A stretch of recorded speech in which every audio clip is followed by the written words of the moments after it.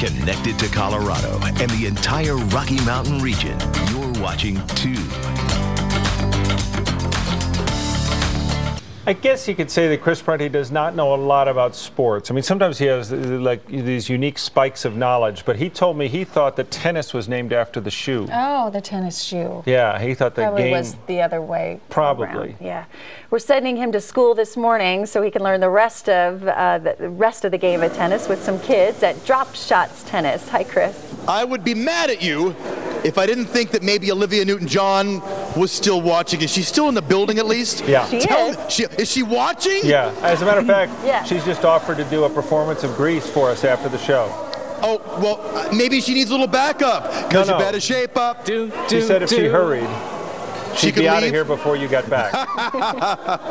Come on. It was so cool to see her on the deuce. On the deuce, my friends. Now, these kids are all too young to remember Olivia Newton John, but they're not too young to play the game of tennis. And Matt, we're talking all about drop shots tennis here uh, in lovely Park Meadows, brand new space at the Vistas, right? That's correct.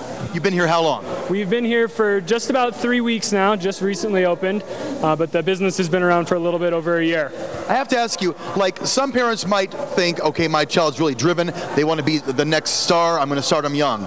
But you're not only looking to train future professional athletes, right? That's correct. Yeah, we, we're, we're basically trying to get you know kids to have a good time associated with the sport, uh, to you know associate fun and, and happy experiences with it, as well as trying to get some kids uh, uh, skilled to, to you know make it somewhere, at least maybe on a high school or college tennis team. And you start pretty young, right? Start as young as two years old.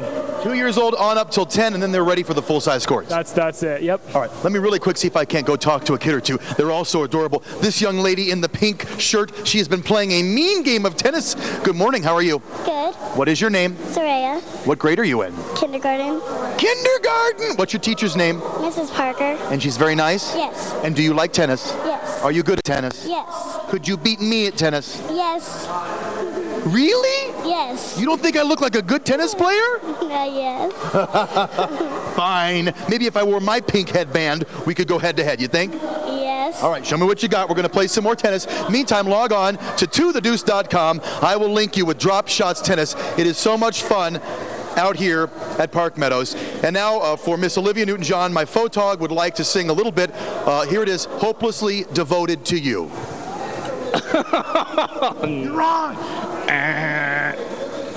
He's getting stage fright, apparently. Your big moment, you Come blew on, we'll get pal. him started.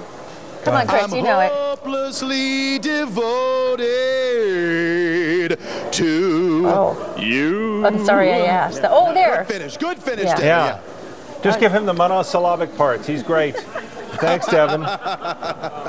See you Oh, later. memories this morning.